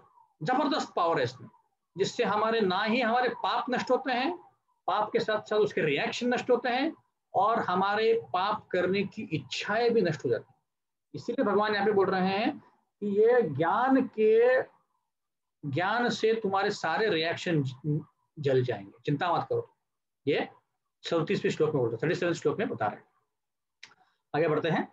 आगे बढ़ते भगवान बता रहे हैं कि जो व्यक्ति ऐसे ज्ञान को पाता है, वो तुरंत ही भक्ति करने लगता है और अपने जीवन में सफल करता है। फिर उसके बाद उनचास में बता रहे हैं, थर्टी नाइन में, कि जो व्यक्ति में श्रद्धा होती है, श्रद्धा के साथ भक्ति कर रहा है और ज्ञान का अर्जन कर रहा है, अपनी इंद्रियों को काबू में रखता है, ऐसा व्यक्ति जल्द ही भगवान को पा सकता है। जो व्यक्ति में अभी तक श्रद्धा नहीं है, वो ये नहीं पा सकता। पर श्रद्धा बहुत ज़रूरी है। श्रद्धा के साथ ही सब हम कर सकते हैं। जैसे हम इस जीवन में, दुनिया में भी रहते हैं श्रद्धा के बिना कुछ नहीं चलता है। आप कोई बस में एंटर कर रहे हो तो श्रद्धा है कि वो बस ड्राइवर जो है एक्सीडेंट नहीं करेगा। ट्रेन में चलते हो, श्रद्धा है फेथ है कि वो ट्रेन का एक्सीडेंट नहीं होगा। फ़्लाइट में जाते हो, तब भी पता है कि अच्छी फ़्लाइट है, अभी ये एक्सीडेंट नहीं होने वाला है, तभी आप एंटर करते हो। आपको अगर श्रद्धा नहीं होती तो आप फ़्लाइट में एंटर ही नहीं करते। तो सारे हमारे दिनचर्या में श्रद्धा की ज़रूरत होती है। डॉक्टर के पास आप जाते हो, है ना? जैसे सोनाली माता जी डॉक्टर हैं माधवी माता जी डॉक्टर हैं उनके पास अगर कोई आता है तो जो वो कुछ दवाई देती है। अब दवाई देने के बाद वो पैसे जो पेशेंट है, उसको यकीन है कि ये अच्छा डॉक्टर है। तभी वो दवाई लेता है ना। नहीं तो वो दवाई कैसे लेता हो इसलिए डॉक्टर के पास जाने के लिए लॉयर के पास जाने के लिए, जो भी हम चीज़ें करते हैं, है ना? पति पत्नी के बीच में श्रद्धा है फैमिली के बीच में श्रद्धा है ऑफ़िस जाएँगे, आप महीना भर काम करोगे। आपको श्रद्धा है कि पगार मिलने वाला है सैलरी मिलने वाली तभी आप काम करते हैं ना। अदरवाइज़ काम थोड़ी करोगे। इसका मतलब है कि हम दिनचर्या में भी श्रद्धा रखते हैं। वैसे ही भगवान बोल रहे हैं कि आप इस आध्यात्मिक ज्ञान में भगवत गीता में हरे कृष्ण महामंत्र में श्रद्धा रखो। श्रद्धा रखने से आपको ज्ञान मिल जाएगा आपको अपना डेस्टिनेशन मिल जाएगा। एक बार एक जूते रिपेयर करने वाला कॉबलर बोलते हैं उसको इंग्लिश वो आ, वो बैठा था। एक ही गाँव में वो था और एक ब्राह्मण था। तो नारद मुनि ने बोला नारद मुनि गया एक बार मिलने के लिए ब्राह्मण से। तो ब्राह्मण ब्राह्मण जो था, व्यक्ति, वो पाठ कर रहा था, भगवद गीता का और शास्त्रों का पठन कर रहा था। तो नारद मुनि बोला, अरे वाह, कितने अच्छे से तुम पठन कर रहे हो। बोला हाँ। तो बोलो, नारद मुनि बोला कि, अभी मैं वैकुंठ जा रहा हूँ तो कुछ पूछना है क्या आपको कृष्ण से? तो उसने बोला कि, आप पूछिए प्लीज़ कृष्ण से कि मेरा नंबर कब आने वाला है? वैकुंठ कब जाऊँगा तो नारद मुनि बोलते हाँ ठीक है, मैं पूछता हूँ। और तो वो फिर जाते हैं दूसरे के पास, जो जूते रिपेयर कर रहा है व्यक्ति। और उससे मिलते हैं। वो जूते रिपेयर करता है। जो भी पैसा मिलता है, उसमें से पचास प्रतिशत का पैसा वो भगवान को दान करता है, पूजा करता है, पाठ करता है। उससे भी नारद मुनि बोलते हैं। और नारद मुनि से वही, वो भी वही पूछता है कि मेरा कब नंबर आएगा? तो नारद मुनि एकदम उत्साह के साथ भगवान के पास जाते हैं, वैकुंठ में। बोलते हैं कि, भगवान कृष्ण, आज मैं बहुत दो अच्छे भक्तों से मिला हूँ। तो प्लीज़ मुझे बताइए कि इन दोनों का नंबर कब लगने वाला है? कब आएँगे वैकुंठ वो तो कृष्ण भगवान ने बोला कि जो जूते रिपेयर करता है व्यक्ति कॉबलर जो है, वो इसी जन्म में वापस आने वाला है। बोला अच्छा बहुत अच्छी बात है तो बहुत अच्छी बात है। और जो दूसरा व्यक्ति है ब्राह्मण, उसको और कई जन्म लगने वाला कई लाखों जन्म लगेंगे। उसके बाद ही वो आएगा। तो नारद बोला, है? ऐसे कैसे? वो भी तो भक्ति कर रहा है। और हालाँकि वो जो जूते रिपेयर करते उससे ज़्यादा भक्ति कर रहा है। तो ऐसे कैसे बोलते आप?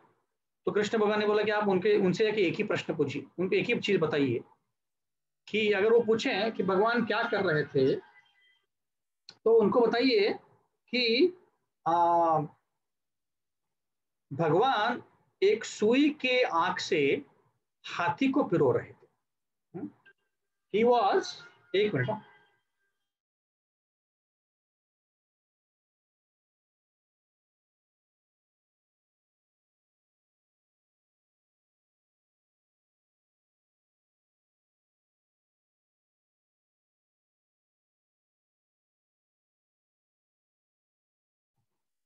सॉरी तो उस नारद मुनि को बोला उन्होंने कि आप दोनों को जाके बताइए। तो नारद मुनि पहुँच जाते हैं ब्राह्मण के पास। और ब्राह्मण एकदम खुश होता है। नारद मुनि आ गए आप आ गए। तो नारद मुनि से पूछता है वो कि, ब्राह्मण पूछता है कि, मेरा नंबर कब आएगा? आपने पूछा भगवान से? मैंने वो तो मैं बताऊँगा आपको। पर पर उसके पहले उन्होंने पूछा, नहीं? तो उन्होंने बताया कि नारद मुनि को पूछा कि, भाई, कब आएगा नंबर? भगवान ने क्या बोला? आपने पूछा क्या उनको? नारद मुनि बोला कि मैंने पूछा बट उन्होंने बोला कि इनको बहुत टाइम लगने वाला है अभी, क्योंकि इनकी श्रद्धा नहीं है। तो वो गुस्सा हो गया, बोला, क्या? मेरी श्रद्धा नहीं है? मैं इतना पठन करता हूँ, एक क्षण भी वेस्ट नहीं करता हूँ, और आप बोल रहे, श्रद्धा नहीं है? क्या बोल रहे हो आप? गए नहीं वैकुंठ मुझे तो लगता है आप गए गए नहीं है घूम रहे कहीं और। वैसे बताइए कि भगवान क्या कर रहे थे वैकुंठ में? तो उन्होंने बताया कि, नारद ने बताया कि जैसे कृष्ण भगवान ने बताया था कि वो सुई के धागे सुई के आँख से वो हाथी को पिरो रहे थे। तो ब्राह्मण ने हंसने लगे हा, हा, हा, क्या पागल हो गए क्या? सुई के आँख से कोई हाथी पिरो सकता है क्या? कुछ भी बकवास इसका प्रूफ यही है कि आप गए ही नहीं थे वैकुंठ। ऐसा वो हंस के चलने लग गया। तो नारद बोले समझ गए कि कृष्ण भगवान क्या बोलना चाहते तो वहाँ से वो निकल गए। अब वो पहुँच गए ज्योति रिपेयर करने वाले के पास। उसको बोला कि भाई मैं भगवान से मिला था वगैरह वगैरह। तो उसने पूछा कि हमारे भगवान क्या कर रहे थे? बताइए। तो नारद ने बताया उसको कि सुई के आँख से वो हाथी को पिरो रहे थे। तो वो नाचने लग गया, खुश हो गया वो। तो नारद ने बोला, क्या? तुम्हें विश्वास है कि जो मैं बता रहा हूँ? तो उसने बोला कि हाँ बिल्कुल विश्वास है। तो बोलते हैं कि, कैसे विश्वास है? तो उन्होंने बोला, देखिए, मैं इस पेड़ के नीचे बैठा हूँ। एक बरगद का पेड़ है ये। अब बरगद के पेड़ के कई सारे बीज निकलते हैं, बीज निकलते हैं। हर एक बीज में एक बड़े पेड़ बनने की ताकत है। इसको मैं बोऊँगा तो बड़ा पेड़ आएगा और उस बड़े पेड़ से हज़ारों लाखों बीज निकलेंगे। तो हर बीज में लाखों पेड़ लाने की ताकत है। और इतने सारे पेड़ होते हैं बड़े बड़े एक 200 250 फीट वाले पेड़। इतने बड़े बड़े पेड़ होते हैं, पर इतने से बीज से बनते हैं। तो हमारे भगवान अगर एक बीज से इतना बड़ा पेड़ बना सकते हैं और एक बीज से इतने हज़ारों झाड़ बना सकते हैं तो उनके लिए कौन सी बड़ी बात है कि एक सुई की आँख से वो हाथी करेंगे? वो बिल्कुल कर सकते हैं, ऐसे करके नाच रहा था तो नारद मुनि समझ गए कि भाई इसकी श्रद्धा जो है अटूट है। भले ही गरीब आदमी है, भले ही शास्त्र नहीं पढ़ रहा है, पर इसकी श्रद्धा अटूट है। बिल्कुल भी उसकी श्रद्धा में कोई प्रॉब्लम नहीं हाला बट ब्राह्मण जो था, बिल्कुल उसको श्रद्धा नहीं इतना पठन कर रहा है, रोज भगवत गीता पढ़ रहा है, बट भगवत गीता के शब्दों में विश्वास नहीं है। तो इसीलिए विश्वास रखना, श्रद्धा रखना इस शास्त्र में बहुत बहुत ज़रूरी है। जो विश्वास नहीं रखते हैं, वो भगवान अभी अगले श्लोक में बता रहे हैं कि जो विश्वास नहीं रखते हैं, वो भगवान को नहीं पा सकते। जो अज्ञानी होते हैं, जिनमें विश्वास बिल्कुल नहीं है, वो क्या होते हैं? वो भगवान को नहीं पा सकते। तो इसीलिए जीसस बोलते थे कि takes a leap of faith and not a leap of knowledge तो हमें, हमारे लिए दोनों ज़रूरी है। ज्ञान भी ज़रूरी है और श्रद्धा भी ज़रूरी है। पर सबसे ज़्यादा श्रद्धा की ज़रूरत है। श्रद्धा रहेगी तभी ज्ञान मिलेगा। और फिर वो श्रद्धा बढ़ती जाएगी, आगे आगे बढ़ती जाएगी। इसलिए यहाँ पे भगवान बता रहे हैं कि इस भक्ति करने से हमें ज्ञान मिलेगा और श्रद्धा मिलेगी। और भक्तों से ज़्यादा हम संग करेंगे तो हमें, हमारी श्रद्धा बढ़ती जाएगी और हमारा ज्ञान बढ़ता जाएगा। ऐसे करते करते हम हमारी भक्ति आगे बढ़ेगी और उससे हम अपने धाम को पा सकते हैं। तो यही है आध्यात्मिक ज्ञान, जो कृष्ण भगवान यहाँ पे बताना चाह रहे हैं। तो चौथे अध्याय पूरा आध्यात्मिक ज्ञान के बारे में बता रहा है। अब पाँचवें अध्याय में अब जब एंटर करेंगे, भगवान कर्म योग के बारे में वापस बताने वाले हैं और विस्तार से बताने वाले हैं तो उसको हम अगले सत्र से चालू करेंगे। किसी को अगर प्रश्न है?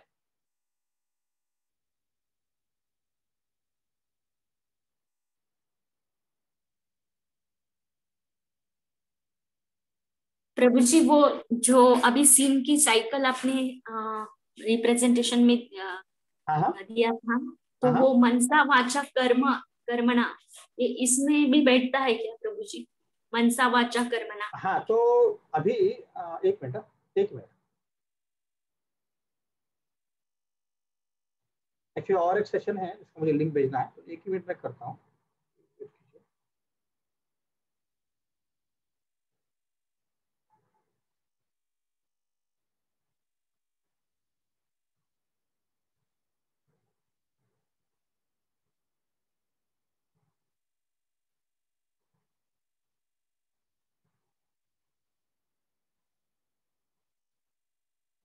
ओके. तो माता जी का प्रश्न है कि ये जो अलग अलग रिएक्शंस हैं, और सिंफुल रिएक्शन इसमें वनस मनसा वाचा आता है क्या? तो इसमें अभी लकीली जो हमारा कलयुग का प्रेयर चल रहा है, उसमें मनसा का कोई रिएक्शन नहीं मिलता है। अगर हम मन से किसी का पाप करते हैं, मन से किसी का ये करते हैं तो हमें कोई रिएक्शन नहीं मिलता है। बट वाचा से बिल्कुल रहेगा, कर्म से बिल्कुल रहेगा। तो आप अगर किसी को बुरा बोलोगे, किसी को बुरा करोगे तो आपको बिल्कुल रिएक्शन मिलेगा। पर मन में किसी का अगर कुछ प्रॉब्लम आएगा आपको अगर मन में कुछ बोलोगे किसी को तो उसका रिएक्शन आपको नहीं मिलेगा। ठीक है माता जी ओके प्रभु और कोई प्रश्न है किसी को?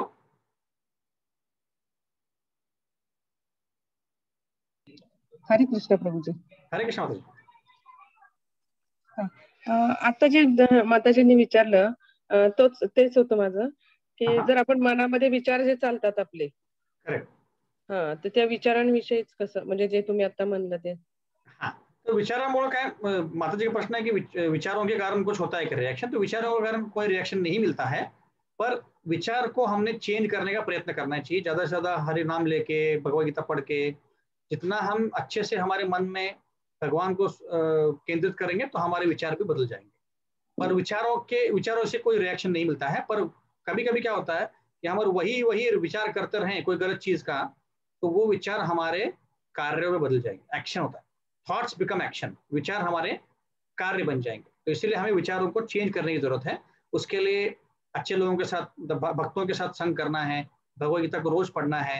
जब जितना ज़्यादा कर सके करना है। जैसे अभी माधु, माधवी माता जी उनकी तबीयत ठीक नहीं है तो रोज वो बत्तीस माला, चौसठ माला कर रही है है ना? तो ऐसे हमें जितना हमें टाइम मिले कोई भी टाइम वेस्ट नहीं करना है। ये फेसबुक व्हाट्सएप टीवी यूट्यूब इसमें टाइम वेस्ट नहीं करना है। जितना टाइम मिले उतना भगवान की याद करना है। उससे हमारा मन जो है मन शांत रहेगा और कोई भी मन में गलत विचार नहीं आएगा। ठीक है मतलब हरे कृष्ण। हरे कृष्ण। और कोई प्रश्न है किसी को? आपको सब समझ आया जो मैंने अभी बताया था? हमने चर्चा की है कि आध्यात्मिक ज्ञान मिलने से हमारे सारे पाप नष्ट हो सकते हैं। हाँ? तो हम अगर भक्ति करते रहेंगे, ज्ञान हमें मिलता रहेगा तो पाप हमारे सब नष्ट हो जाएँगे। ये हमारा मूल उद्देश्य है। और दूसरा हमने पॉइंट डिस्कस किया था कि जो हमें श्रद्धा रहेगी भगवान भगवान के प्रोसेस में, ये भगवत गीता के प्रोसेस में तो उस श्रद्धा से हमारी भक्ति की गाड़ी जल्दी आगे बढ़ेगी। ऐसे। ठीक है? और कोई प्रश्न है किसी का?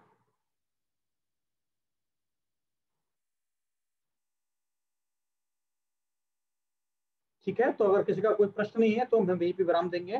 तो बहुत बहुत धन्यवाद। तो अभी चौथा अध्याय हमारा खत्म हुआ है तो हम अभी अगले हफ़्ते मोस्ट प्रॉबली क्विज का आरंभ करेंगे। क्विज आपको शेयर करेंगे। तो आपको या तो नेक्स्ट संडे करेंगे, बराबर नेक्स्ट संडे तो आपको एक हफ़्ते का टाइम दिया जाएगा। तो आपको एक हफ़्ते में उसको सॉल्व करना है ऑनलाइन आप अपने आप ओपन बुक देख कर सकते हो। भगवदगीता ओपन करके आप अपने क्विज दे सकते हो। ठीक है? ये चौथा अध्याय पर आएगा मतलब ठीक है? Hare Krishna. Hare Krishna. Thank you so much Hare Krishna. Hare Krishna.